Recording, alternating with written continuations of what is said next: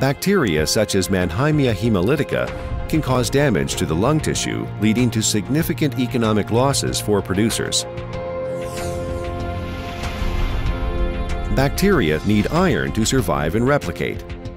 In the bovine lung, where free iron is in short supply, they express iron uptake receptors on their surface to ensure the uptake of sufficient quantities.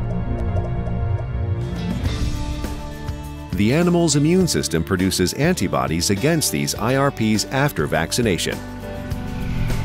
If an infection with Mannheimia hemolytica occurs, these antibodies bind to the IRPs on the surface of the bacteria, limiting their replication. As different serotypes of Mannheimia hemolytica express similar iron uptake receptors on their surfaces, the antibodies produced by a vaccine with IRP technology will offer cross-protection against these serotypes.